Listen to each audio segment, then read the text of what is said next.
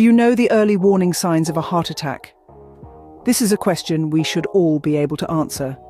Heart attacks are a leading cause of death, with around 805,000 people experiencing one each year in the United States alone.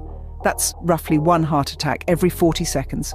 These numbers are staggering, but there is a silver lining. Heart attacks have distinct symptoms, and recognizing these early can make all the difference.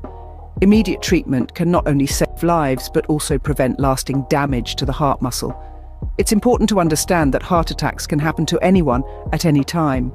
They're often caused by coronary artery disease, a condition where plaque builds up in the arteries, blocking the flow of blood to the heart. But lifestyle factors like smoking, high blood pressure, obesity, and a sedentary lifestyle can also increase your risk.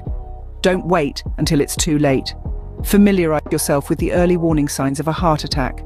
Knowing these signs can save a life, maybe even your own. So what are these early warning signs of a heart attack that we need to look out for? Let's dive right in. One of the most common signs is chest discomfort. This isn't always an intense, gripping pain like you might imagine. It can feel like pressure or a squeezing sensation in the center of your chest. It might even feel like heartburn or indigestion. Importantly, this discomfort can come and go. It doesn't have to be constant. Next, there's fatigue.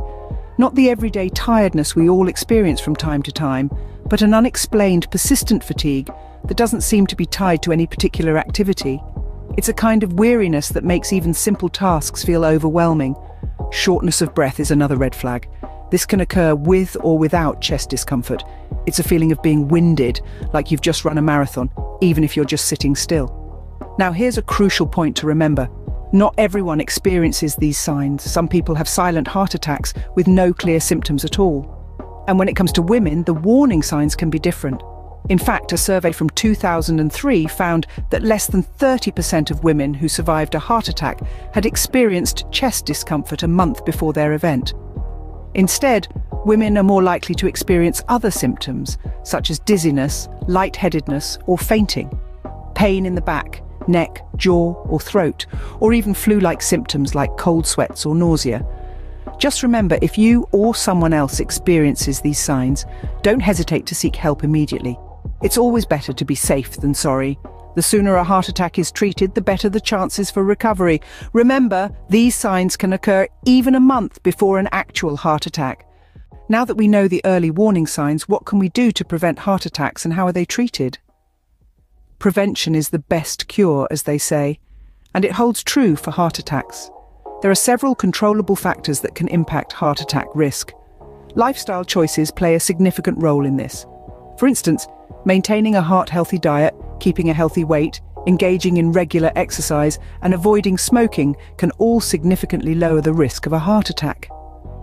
Now, when it comes to treatment, there are several options available. These may involve surgical intervention, such as angioplasty or bypass surgery, where blocked arteries are opened or circumvented to restore blood flow to the heart. Medical devices like stents might also be used to keep these arteries open. Apart from these, medications play a crucial role in both the immediate treatment and ongoing management of heart health post a heart attack. These can include drugs to dissolve clots, manage heart function, or control factors like high blood pressure and cholesterol that contribute to heart disease. By making heart-healthy choices and recognizing the early warning signs, we can increase our chances of living a long, full, active life.